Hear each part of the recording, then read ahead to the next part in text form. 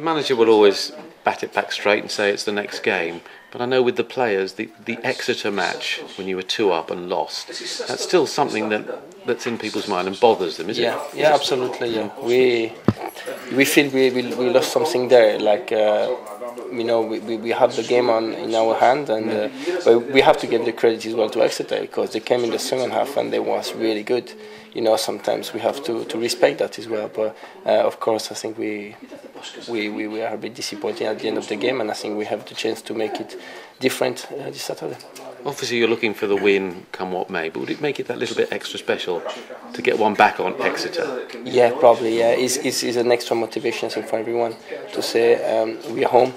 Uh, we lost uh, that game there uh, where we shouldn't, and uh, I think uh, that's going to make uh, an extra motivation, and it's going to be very good for us.